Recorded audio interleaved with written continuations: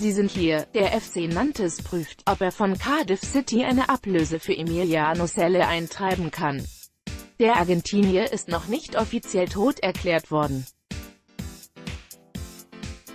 Makabers Trauerspiel um Emiliano Selle, der französische Erstligist FC Nantes lässt bereits ohne eine offizielle Bestätigung des Todes seines vermissten Ex-Profis rechtliche Möglichkeiten zur Eintreibung der Ablöse von Salas ursprünglich neuen Club Cardiff City prüfen.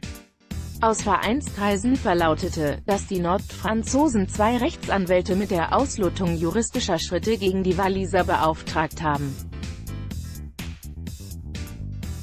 Zudem erwägt der Verein angeblich die Einschaltung des Weltverbandes FIFA. Selle gilt seit dem 21. Januar als verschollen. Der 28-Jährige war an Bord eines über dem Ärmelkanal abgestürzten Kleinflugzeuges, das den Argentinier nach Cardiff bringen sollte. Kurz zuvor erst war sein Transfer von Nantes zum walisischen Klub aus der englischen Premier League für eine Ablöse von 17 Millionen Euro perfekt geworden.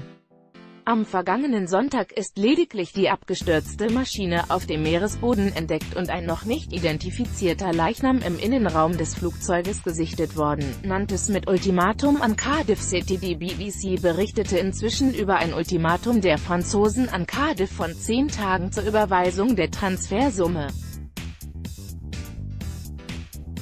Ein Sprecher des britischen Clubs unterstrich gegenüber einheimischen Medien Cardiffs grundsätzliche Bereitschaft zur Zahlung der vereinbarten Transfersumme, erklärte jedoch zugleich die vorherige Klärung sämtlicher Umstände des Unglücks zur Bedingung für die Überweisung.